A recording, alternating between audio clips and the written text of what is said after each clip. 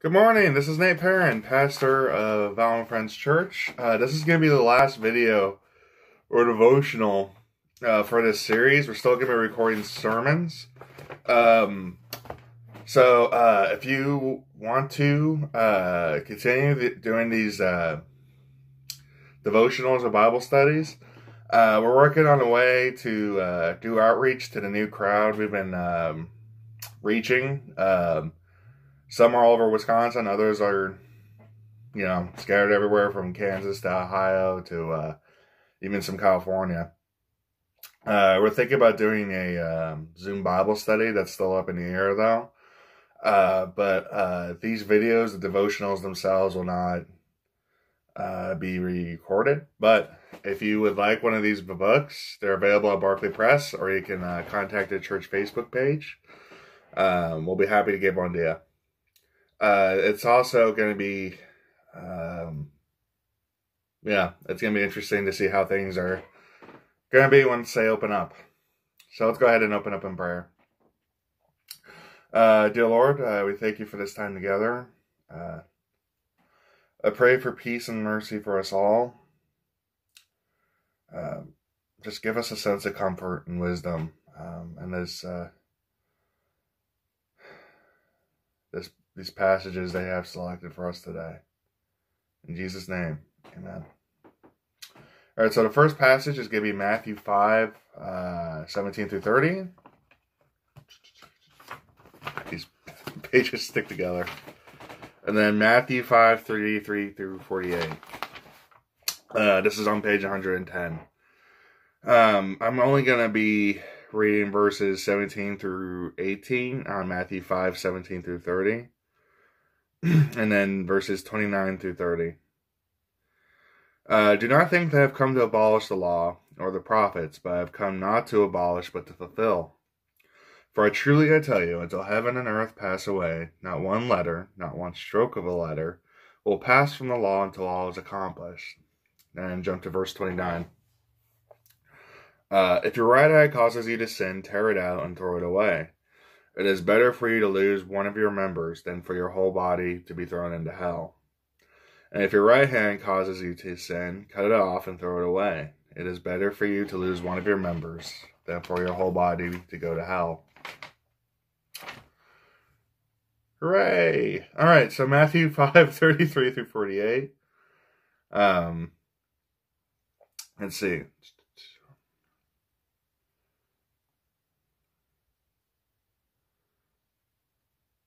These are pretty much a summation of the Torah, what the heart of it is. Uh, I'll read a few verses. I'll read verses 33 uh, through 35, and then verses uh, 42 through uh, 48. So again, you have heard that it was said to those of ancient times, You shall swear falsely but carry out the vows you have made to the Lord.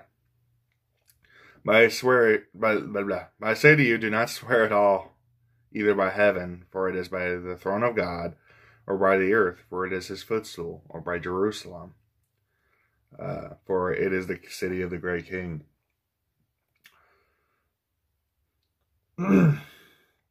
Give to everyone who begs from you, and do not refuse anyone uh, who wants to borrow from you. You have heard it said that you shall love your neighbor and hate your enemy. But I say to you, love your enemies and pray for those who persecute you, so that you may be children of your Father in heaven. For he makes the sun rise on the evil and on the good, and sends rain on the righteous and on the unrighteous. For if you love those who love you, what reward do you really have? Do not even the tax collectors do the same? If you greet only your brothers and sisters, what more are you doing than others? Do not even the Gentiles do the same? Be perfect, therefore, as your heavenly Father is perfect. All right, so uh, sorry to report that uh, there's been a lot of um, in the past anti-Semitism that uh, people uh, have tried to glean from uh, the Gospels. Um, I don't think it's there, but if you don't know the context, it could come off like that. Uh, Matthew is a very Jewish gospel. Um, what he, Jesus is saying is that uh, God was present in the law in the Old Testament, uh, but that Jesus was coming to fulfill it. So, what does that fulfillment look like? Um, he is trying to get people to stop thinking of sin as an outer condition and more of an inner condition. Uh, if you say you uh, hate your neighbor, Jesus says that's like committing murder in your heart, right? Um, if you gossip or spread things about your neighbor or brother or sister in Christ, uh, you you are in that same position as someone who's being, uh, you know, murderer. You know, it's. I think this was pretty straightforward. Uh, obviously, this is not 29 through 30 is not meant to be taken absolutely literally. Uh, please don't cut off your hand. Don't pluck out your eye. Um, don't. The inner condition is what matters the most. And when you connect to Christ, that condition begins to form over time. So, um, yeah, whatever is tempting you to do these things, remove it. That's what it's basically saying. Of course, your hand isn't like an inanimate object. I think I saw a weird horror movie. Uh, it was black and white. I think it was a Twilight Zone episode about a hand that had its own mind. It, it was weird, but um, you know, it, Jesus was using language of metaphor to communicate these truths. All right, let's go ahead and jump to the other passage. Um, so there were rabbis around this time who were uh, considered the religious religious authorities. And religious authorities for uh, ancient Hebrews that carried a lot more weight than it does today. And it's very common to hear rabbis say, "No, no, it's okay to not forgive your enemies. Uh, it's okay to hate people." Now that was a pretty common thing for them to uh, espouse. Uh, so when Jesus says, "You have heard it said that you shall love your neighbor and hate your enemy," he's not quoting scripture; he's quoting those rabbis. Uh, you know, so Jesus is uh, making a kingdom contrast. Uh, I hate to use the word uh, religion because when I read uh, scriptures, Paul says there's good religion and bad religion. I just don't know what else word, uh, what other word to use at this point. So here's the religion of uh, the rabbis. Here's the kingdom. Um, Jesus is saying that if you want to be part of the kingdom, uh, you have to pray for your enemies. You have to uh, love and uh, those who are persecuting you. Um, and uh, let's look at verse 46. For if you love those who love you, what reward do you have? Do not even the tax collectors do the same? So, tax collectors, it's not like the IRS. Tax collectors are pretty bad people um, in the first century. Uh, they would often take way more than they intended than uh, what was needed and they would make sure to plunge that family into absolute poverty. They were part of the system where um, uh, that the Romans used to keep the Hebrews in place. So Jesus is saying, look at that tax collector. Even he loves his friends and hates his enemies. How is he different? so, if we're going to be kingdom people, uh, we need to switch our mindset from uh, this common uh, small g gospel, I guess, that we hear that uh, we need to be only loving the people we like. The capital G gospel we need to be following is that we pray for those who persecute us. We pray uh, for the um, for God to deal with them uh, as He see fits. We need to be praying um, that we have the courage to love and it does take courage. Um, I had my last class uh, on Monday, and uh, as a the guest speaker was this ninety year old uh, activist. that he was a black pastor named John Perkins. Um, if you've never heard of him before, he's just this got this incredible story. Um, he uh, dropped out of third grade. Um, and he uh, saw his own brother get killed. Um, yeah, just an intense story. And um, in jail, after he was beaten several times um, for, you know, being uh, part of a protest, um, he said to himself, I'm gonna, God, give me um, the kind of gospel that helps me to forgive these people. And uh, one of the words he, um, one of the phrases he used during this class, he said, "We need a gospel that can preach to maggots like us." And he wasn't using the word maggots um, as kind of like a racial term. He's saying, "We are so deep in sin, we need Jesus. Um, we need Jesus to forgive the people that hurt us the most." Um, just a phenomenal, phenomenal story, but the world will always be telling us we need to only love our friends, right? We need to only hang out with people who uh, act like us, speak like us, uh, but we dread of doing anything other than uh, talking with the other. Um, the kingdom way is to eat love to the extreme so much so that you love even your enemies. And that's a hard thing to do. I'm not speak. I just hate it when pastors make it sound like this is something they got down. I don't know a single pastor who has it down. Um, um, it's just one of those things where we have to be intentional. For part of the kingdom of God, we gotta love. Um, and every time I, um, well, this is the way it used to be uh, back when I was uh, you know first starting as a Christian, um, every time these passages would be highlighted, uh, someone would be quick to I want to say juxtapose. Uh, what kind? Of, what's a better word? Contrast. There we go. They would say contrast as like we're supposed to love, but we're supposed to do this, but, and I think that's kind of um an unhealthy mindset. Does that make sense? Um, we're supposed to love but call out sin. Yeah, I get I agree with the statement of that. But I think that also gives us a temptation um, to treat people more as projects. Does that make sense? Um, whenever I'm working with anyone, um,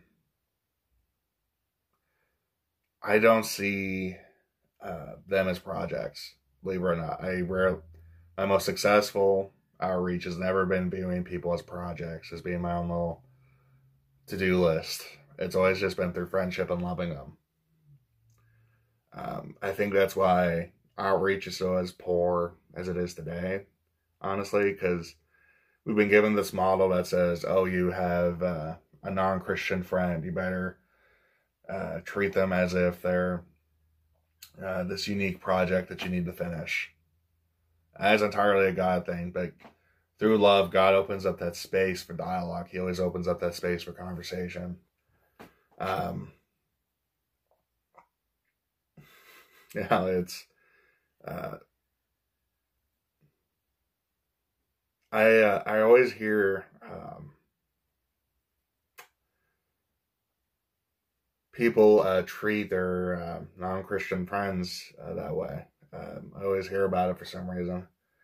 Um, and this is a mindset that's pretty common, so it's not uh, anything I necessarily judge. But um, I know when I wasn't a Christian, I could tell from a mile away when a Christian was trying to convert me.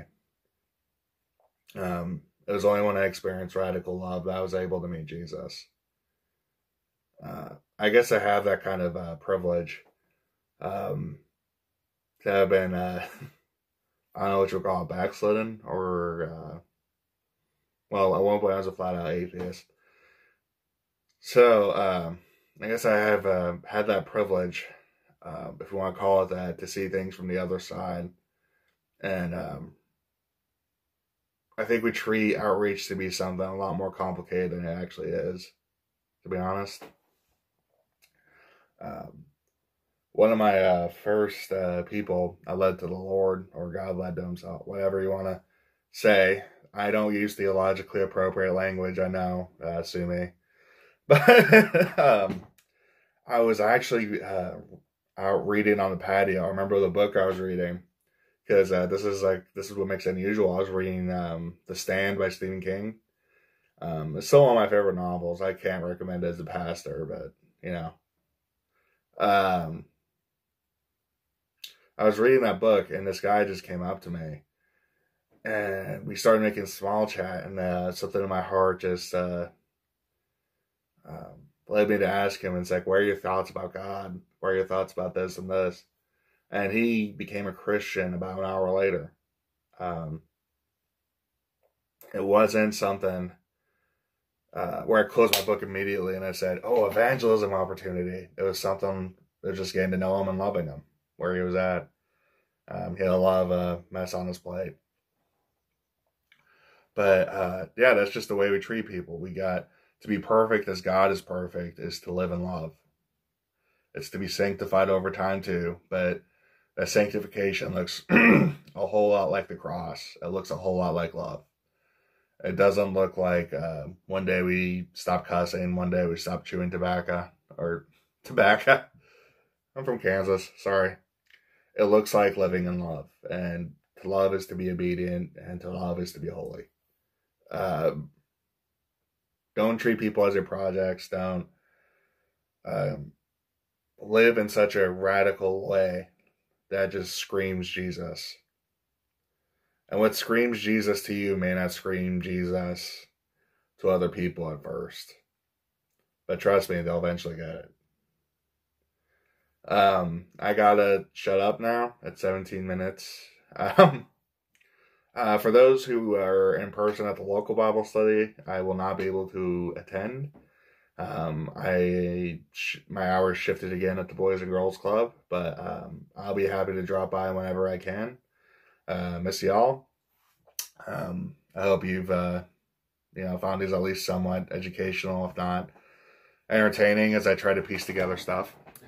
Um, yeah, I'll be keeping you all in prayer. Um, for those who uh, are keeping track uh, through YouTube or Facebook, um, hopefully we're going to find a way to connect to you all. But in the meantime, I'll be continuing engaging you in conversation. Um, I thank you so much for listening. Uh, I know this is not the ideal background for a lot of people, but uh, apparently I've gotten no complaints. So I guess there's a lot of Clash fans out there, huh? Um, I pray you uh, peace and uh, sense of uh, health during all this. And that you always remember that uh, we as Valiant Friends are here for you, uh, no matter who you are. And that um, the last thing we would want for you to feel or to sense is that we're not of service to you. So please uh, reach out if you need help. Um, you know, just thank you so much for tuning in and stuff. I'll be closing in prayer and I'll be uh, logging off. Um, I think we go get some lunch. All right. Dear Lord, uh, thank you for this time together.